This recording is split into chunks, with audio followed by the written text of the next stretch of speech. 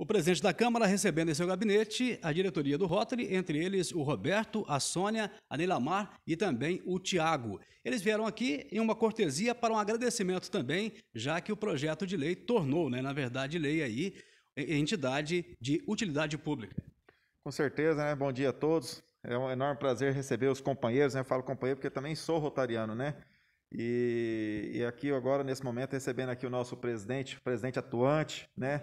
Nosso companheiro Beto, né, a companheira Sônia, né, minha companheira de trabalho aqui também, a companheira Neila, e nosso amigo ali, o companheiro Tiago também, né, e os demais colegas aí, né, companheiros do Rotary, um forte abraço a todos, e com certeza, o Rotary prestando um belo serviço à comunidade cacoalense, não de agora, né, já há alguns anos, né, companheiro Beto, né, alguns anos aí, e com certeza eu fico orgulhoso, né, de estar tá podendo colaborar mais uma vez aí, né, com esse clube aí que vem prestando um belo serviço para a sociedade cacoalense. Então, Fico agradecido a presença de todos. Né? A Câmara Municipal fica aberta a todos os cacoalenses, indiferente de, de clube, indiferente de serviço prestado. Né? Estou aqui para atender todos. Então, quero que o Beto faça uma palavrinha aqui do serviço do Rotary Clube em Cacoal, né? que está aí é, como presidente no momento aí. Então, obrigado ao presidente da Câmara, João Pichek. Né? É um prazer de ter um presidente da Câmara como companheiro de Rotary. Né? Acho que na história do nosso clube não tivemos uma pessoa tão ilustre né, como companheiros. Né? Então é muito bom essa parceria.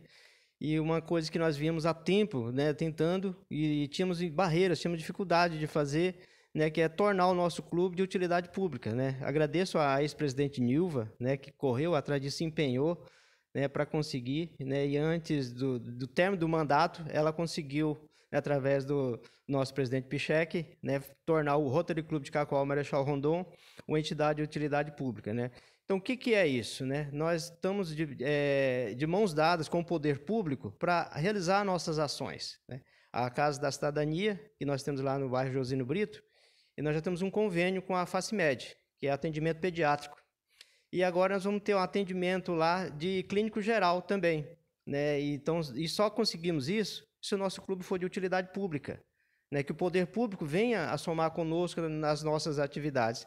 Então, eu agradeço muito né, o presidente Pichek né, por ter nos apoiado nesse projeto. Né. Agradeço que os nossos diretores, nossos colegas que estão nos acompanhando, e dizer que, que o Rotary Clube de Cacoal Marechal Rondon está de portas abertas à comunidade. A nossa casa está sempre de portas abertas, seja lá é, realizando é, aplicações de vacina, sendo é, realização de, de consultas né, e outras, aço outras ações que estão previstas né, durante o ano que nós vamos realizar lá no nosso, na nossa casa. Então, o Rotary Club só tem a agradecer à comunidade cacoalense por esse acolhimento que nós temos na nossa cidade.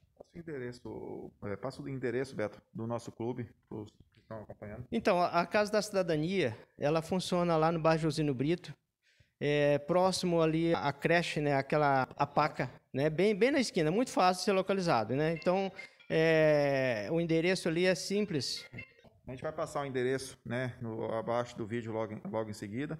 E desde já, mais uma vez, agradeço aqui é, de coração a presença do, dos companheiros rotarianos, né, ao companheiro Chico, né, a companheira Neiva, e todos que não pôde estar presente. Um forte abraço a todos e com certeza esse é o trabalho nosso como representante e é o trabalho de vocês, como também, querendo ou não, de uma entidade importante aí que presta serviço para todos nós cacoalenses. Um forte abraço a todos